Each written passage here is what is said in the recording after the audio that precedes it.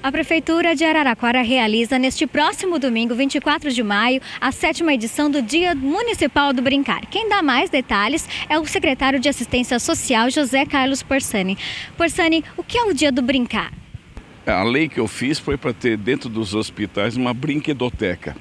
E isso foi aprovado. Hoje os hospitais de Araraquara mantêm até a UPA uma brinquedoteca. E com isso nós procuramos trazer para o parque infantil.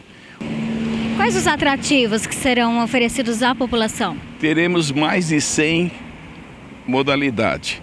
Serão brincadeiras que mar marcaram a infância dos pais também, né? Sim, sim, principalmente os pais que brincavam. Hoje a criança fica com, com a tecnologia na mão. E isso daí está tirando aquela alegria que nós tínhamos de criança.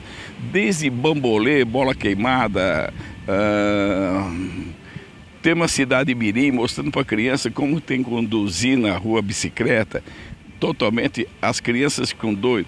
Ah, também teremos a participação da Polícia Militar, Polícia Rodoviária, Polícia Civil, mostrando que a polícia está para servir a comunidade.